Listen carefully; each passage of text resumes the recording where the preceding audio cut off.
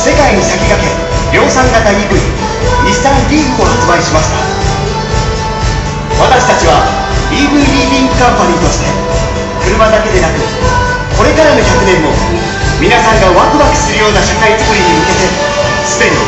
歩み始めています。